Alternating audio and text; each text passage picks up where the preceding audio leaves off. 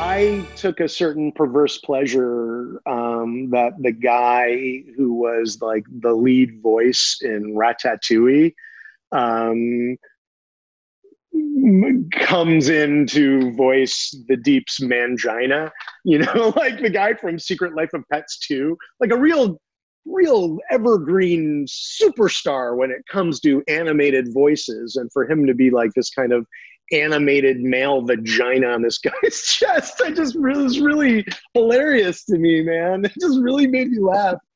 Um, it really felt like we were trying to actively ruin his career as a as a voiceover artist. I was such a fan of that show. I liked the comic book okay, uh, but what they did with those characters and with that world and um, with the character of Homelander, who you did not, you know, you think, well, it's going to be, um, it's going to be the boys, it's going to be, you know, those characters, and then, but you get just as invested in these evil, damaged superheroes that I tweeted about it and crowed about it. He said, uh, you know, I'd love to play a part one way or another if it, if it ever comes up.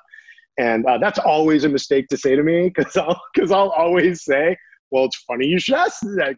The creator just contacted me and said, "Do you want to do this thing on the show?" I'm like, "Absolutely!" And that's how it happened.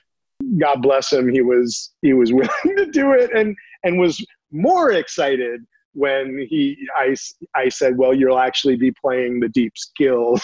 a lot of actors would say, uh, I'm actually busy that year. I can't do it. But but he was like, oh my God, that's the best. I, am I'm, I'm so in. And, uh, uh, and he's a really, really good dude.